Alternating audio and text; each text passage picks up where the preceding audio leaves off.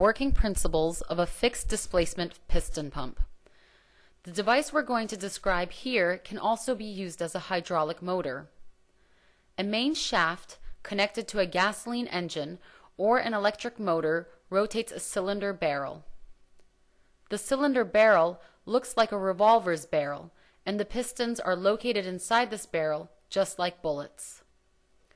The rotation of the barrel forces the pistons to rotate with the barrel. The round ends of the pistons are connected to the yellow shoes which slide on an inclined black swash plate.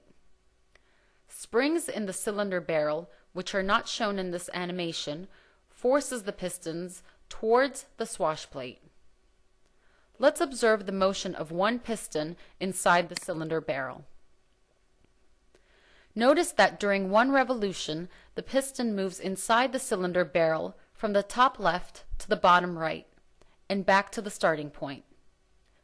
The horizontal distance between the top left and bottom right are fixed, and thus the name of the pump, fixed displacement pump, is derived from this fact.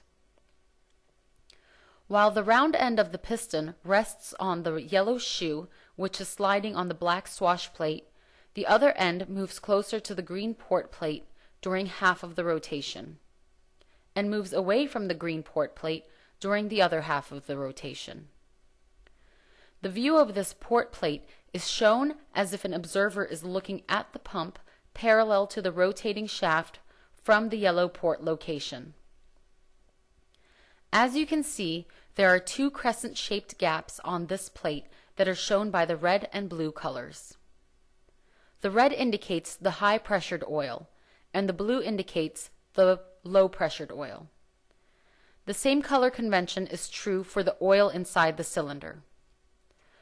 Notice that for the high pressured oil, the pistons move toward the port plate and force the hydraulic oil into the red crescent gap on the port plate. The movement of the oil in the crescents is shown with the white bubbles. For high pressured oil, the bubbles move toward the exit port, indicating that the oil is coming from the cylinders. For low pressured oil, the bubbles move away from the inlet port, indicating that the oil is coming from the outside. The oil in the blue crescent is sucked in by the pistons moving away from the port plate.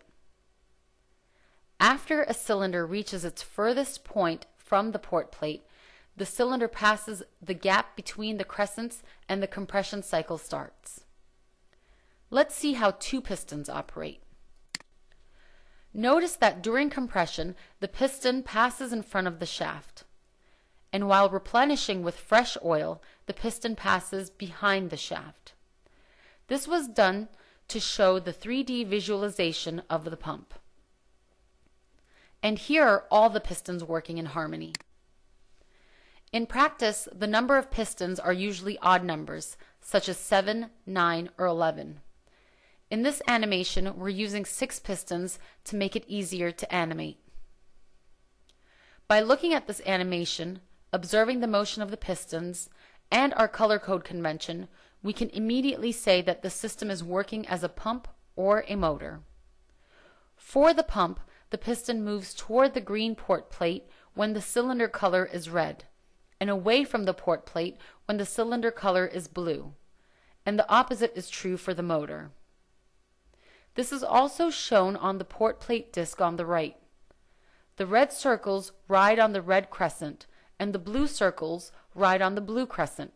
The opposite is never true. In future videos, we will represent hydraulic circuits and motors with the green port plate, disc shown on the right. But how can we tell whether a port plate disc represents a pump or a motor just by looking at it? Unfortunately, we can't, since we don't know whether the piston is moving toward the port plate or not.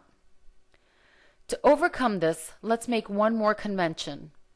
When the colors of the discs are lighter, the piston is closer to the port plate, as shown in this section of the animation and if the colors of the discs are darker, the piston is away from the port plate, as shown in this section of the animation.